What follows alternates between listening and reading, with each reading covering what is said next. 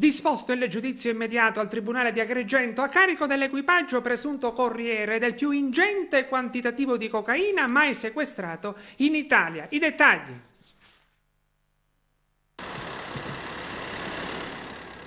Il giudice per le indagini preliminari del Tribunale di Agrigento ha disposto il giudizio immediato e il prossimo 15 luglio, innanzi alla sezione penale presieduta da Alfonso Malato, è in calendario la prima udienza a carico di 15 persone di nazionalità ucraina, turca e azera, componenti dell'equipaggio presunto corriere del maxi sequestro di cocaina, più di 5 tonnellate, ad opera della Guardia di Finanza, risalente allo scorso 19 luglio.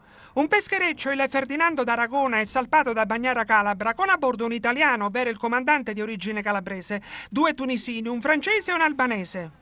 I finanzieri del comando provinciale di Palermo e della squadra aeronavale lo hanno intercettato e bloccato. I cinque sono stati arrestati. Il carico stupefacente, senza precedenti in Italia e tra i più rilevanti in ambito mondiale, oltre 5 tonnellate e 300 kg di cocaina, è stato sequestrato.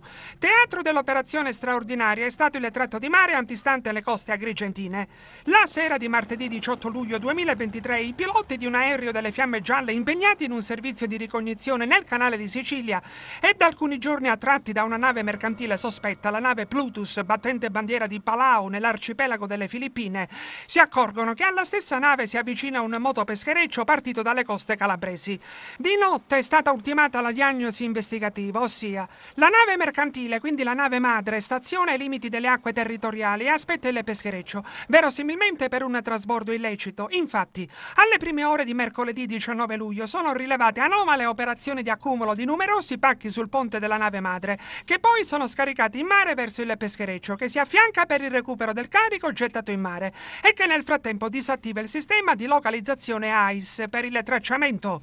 Scatta il blitz. Il peschereccio rientra verso le acque territoriali ed è catturato. A bordo, abilmente nascosto dietro una pannellatura che copre un ampio locale, è rinvenuto un enorme quantitativo di stupefacente. Immediatamente altri finanzieri si lanciano all'inseguimento della nave mercantile, la nave madre, ovviamente complice del figlio, il peschereccio. La nave è in rotta verso la Turchia è acciuffata e condotta al porto di Palermo. L'equipaggio è composto dai 15 trasferiti nel carcere Pagliarelli a Palermo e adesso a processo alla Palazzo di Giustizia in via Mazzini ad Agrigento. E il peschereccio fu scortato fino a Porto Empedocle. Ricostruendo la catena di montaggio del maxi trasporto di cocaina verso la Sicilia, la nave Plutus, lunga 140 metri, ha sollevato l'ancora a giugno da Santo Domingo, poi tappa Trinidad e Tobago e poi nel porto di Las Palmas, capitale della Gran Canaria, isola dell'arcipelago arcipelago delle Canarie, da dove è ripartita il 7 luglio, ha attraversato lo stretto di Gibilterra ed è giunta infine nel canale di Sicilia, in attesa del motopeschereccio salpato dalle coste calabresi.